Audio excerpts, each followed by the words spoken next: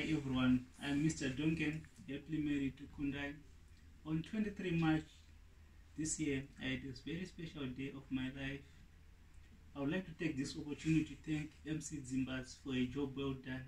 He was very professional and fun. I won't hesitate to recommend anyone to this gentleman.